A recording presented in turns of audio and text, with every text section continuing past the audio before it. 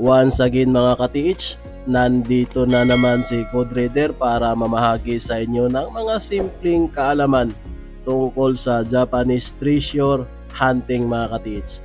Ang pag-uusapan natin ngayon ito ay tungkol sa mga combination mix color na nakukuha ninyo sa ilalim sa paghukay ninyo.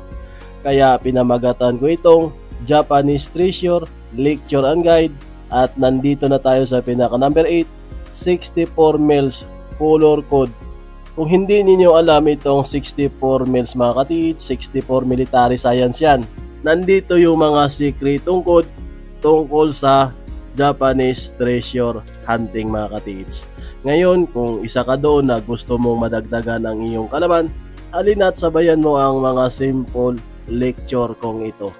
Tiyak, meron at meron ka talagang makukuhang idea mula sa akin. Pero ang content na ito parang ni-revive ko na lang mga katits. Nagawan ko na to ng content dati. So balit, ang boses ko doon ay boses alien. Hindi maintindihan mga katits. Kaya maraming nag-request sa akin, nagchat-chat na pwedeng linawin ko ba daw. Para sa mga nag-request, nandito na ang request ninyo. At bago natin umpisa ng lahat, sana wag makalimot mag-subscribe dito sa YouTube channel kong Code Reader MMS. Yan ng mga madam at mga sir nang sa ganon updated kayo sa mga simple lecture nating mga katiits tulad nito. At ganon din sa Facebook page kong Code Reader Official. Dito lang mga madam, like and follow lang dito. Ayan siya.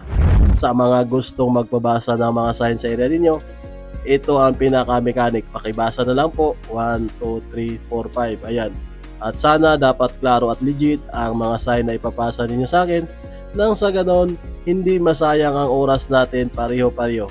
Pero sign lang sa ibabaw ang binabasa ko. Hindi ako nagbabasa mga katiits ng mga sign sa ilalim kung saan nakuha ninyo sa paghukay ninyo. Number one, hindi ko alam bakit naghukay kayo dyan.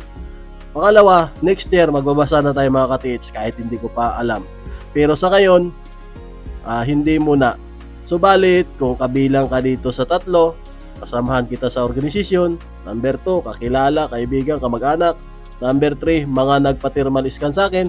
Pwede kayong magpasa ng mga sa area ninyo. Pang ibabaw man yan o pang ilalim, babasahin ko pa yan mga tits. Or babasahin ko talaga mga katits.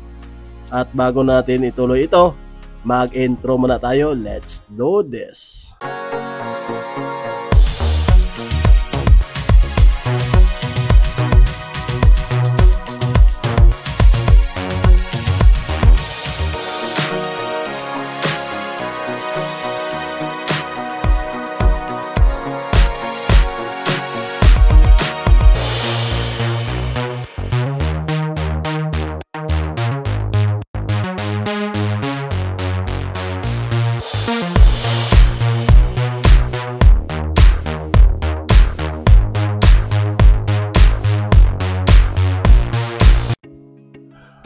Ito na mga madam at saka mga sir, lalo na sa lahat ng kasamahan natin na gustong matuto at madagdagan ang inyong kalaman about treasure hunting mga katits, halina't sabayan nyo na ang simple lecture kong ito.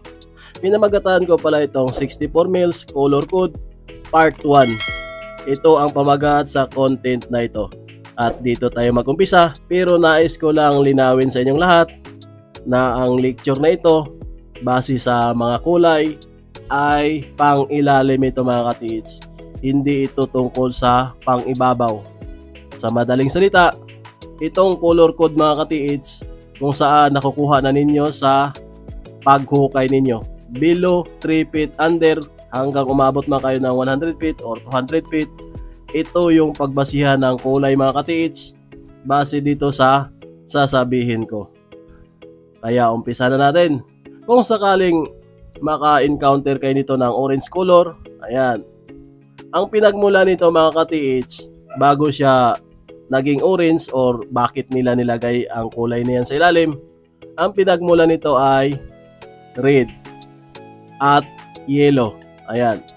Pag i-plus mo or pag ihalo ang dalawang kulay na ito, itong red at saka yellow, ang kalalabasan ay kulay orange. Ayan mga ka-TH. Ngayon, ibalik tanaw natin. Ang kulay red na yan, nagsisignal na yan ng danger trap sa ilalim. Kung saan pinagsama siya sa yellow, ang yellow naman ay positive treasure site. Kaya sa madaling salita, pag nakakuha ka nito sa hukay mo, ganitong kulay, ibig sabihin mga ka-TH, ulitin ko ulit, positive treasure site ang butas ninyo. Subalit, may signal danger trap siya mga ka-TH. May kakibat na panganib ang mismong butas na yan. Ganun pa man, ang tanging palatandaan nito, hindi ito nangangahulugan na kung sakaling makakuha ka ng orange, ayun na yun. Hindi mga ka-TH, uh, para siyang, malalaman ito dahil para siyang layer na makapal. Kung bato man siya, maraming bato na nagtutumpok-tumpukan na kulay orange lahat.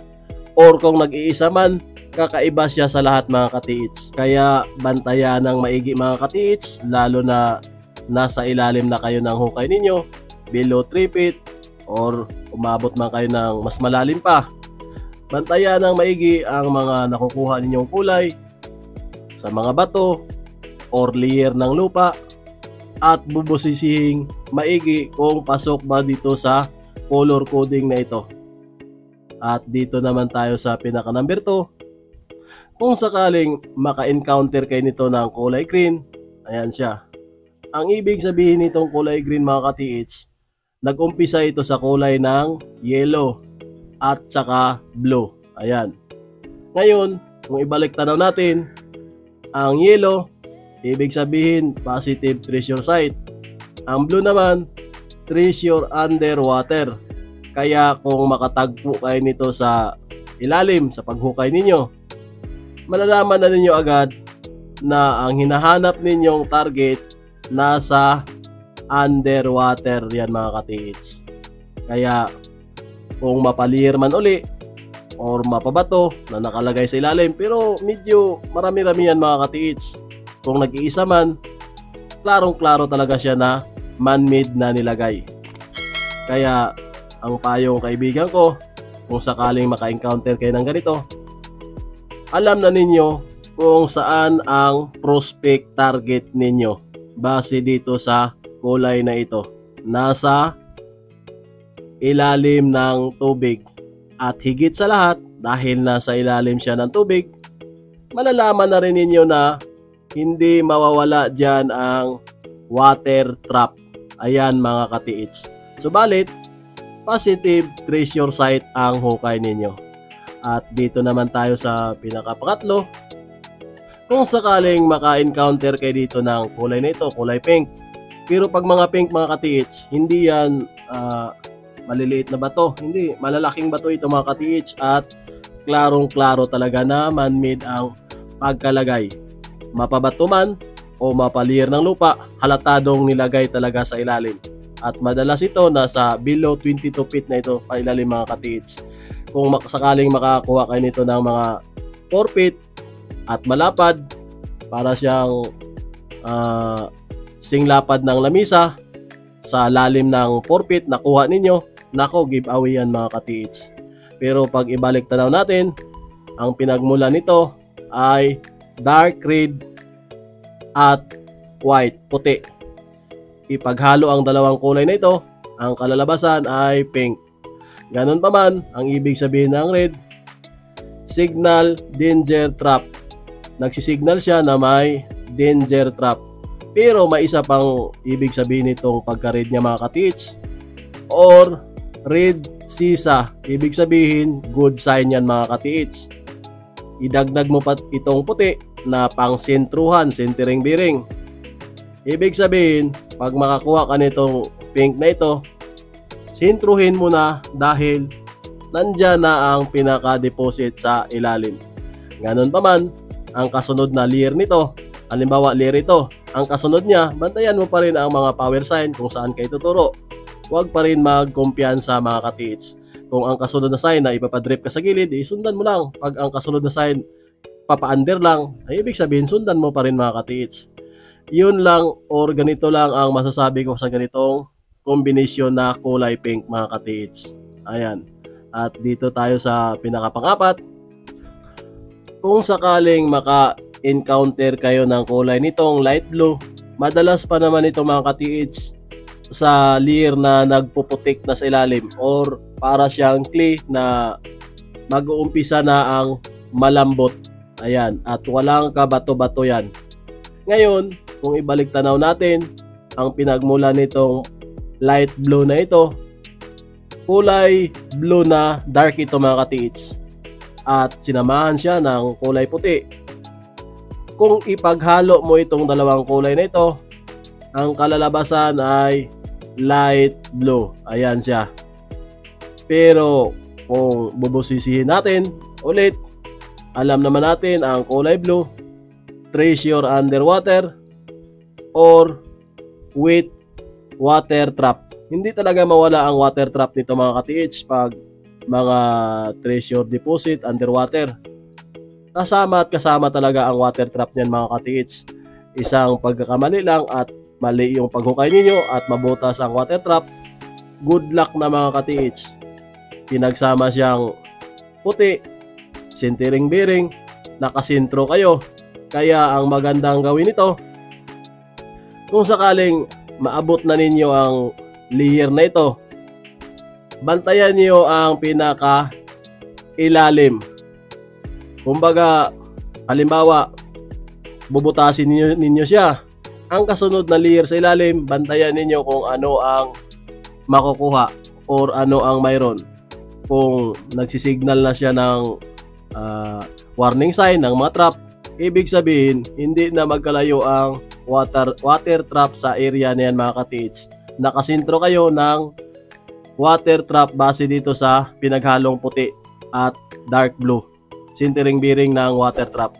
So balit, kung ang kasunod na layer niya, nagsisignal siya ng good sign papunta sa deposit, ayun ang pinakamaganda mga ka-TH. Nakasintro kayo sa deposito, so balit nasa ilalim siya ng tubig.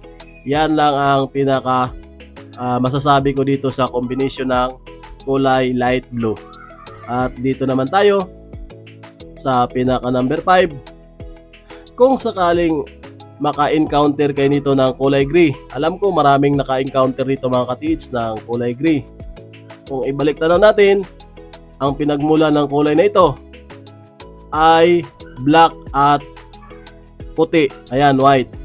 Pag ipaghalo yan, ang kalalabasan ay gray. Subalit, alam naman nating lahat, ang kulay black, continue digging lang mga tits, patuloy ka lang sa paghukay. Ayan. Pero, bantayanan ang mga sign or bantayanan ang mga travel sign sa ilalim.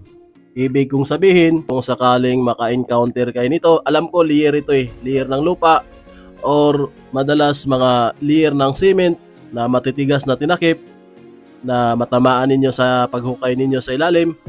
Ang ibig sabihin nito mga ka-TH, uh, continue digging. Ulitin ko ulit, bantayan ang mga travel sign. Pag nabutas na ninyo ang layer na yan, ang kasunod na makukuha ang sign, bantayan nyo mga ka-TH kung ituturo ba kayo pa under, ituturo ba kayo pa side, ayan na mga ka-TH. Dahil may kakibat siyang sintering bearing na kulay puti, bantayanan palagi mga katiits. Yan lang ang masasabi ko sa ganitong kombinasyon niya mga katiits. Ngayon sa pagtatapos sa content nating ito mga katiits, kung nagustuhan niyo ang pinaka part 1 at gusto niyo pang dugtungan ko ang pinaka part 2, mag-comment lang kayo dito sa baba sa video kong ito. Mag-comment lang kayo na sundan ng part 2. Kasi kung hindi, wala akong magawa mga katiits, nasa inyo yan. Pero kung gusto ninyo, ituloy natin at mabibigyan kayo ng mga simpleng or simple idea about treasure hunting. Basta ganito lang, pag naka-encounter kayo ng ganitong kulay, gray, balikan nyo agad, white at black, sundan nyo ang meaning. Ganun lang ang pagsunod mga ka-TH tulad nito ng light blue, ibalik ninyo white at dark blue, ayan. Tulad nito, pink, ibalik ninyo agad kung bakit nila nilagay ang pink na kulay na yan white at dark red. Ano ang mga meaning niyan?